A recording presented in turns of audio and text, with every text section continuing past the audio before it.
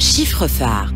ارتفعت قيمة الصادرات التونسية من التمور مع انطلاق الموسم الجديد 2023-2024 بنسبة 6.7% خلال شهر أكتوبر 2023 مقارنة بنفس الفترة من سنة 2022 لتبلغ 46.1 مليون دينار في المقابل اتقلص حجم الكميات المصدرة في شهر أكتوبر 2023 بنسبة 2.3% مقارنة بنفس الفترة من سنة 2022 لتصل إلى أكثر من 7000 طن من التمور.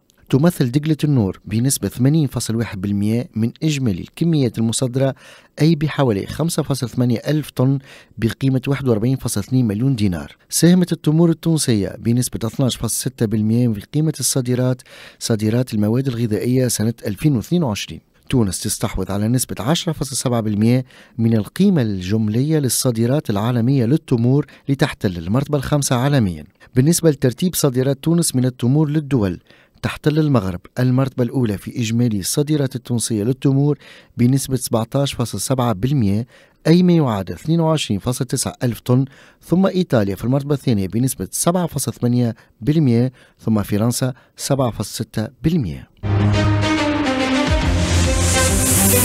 Chiffre phare.